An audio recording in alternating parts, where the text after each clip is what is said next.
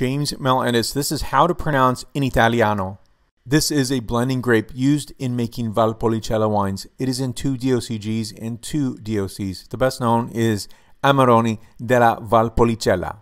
Pronunciation of this wine grape is Corvinone, Corvinone, Corvinone. Thank you for watching. Please give a like, subscribe to this channel, and I'll see you back for more. Grazie e salute.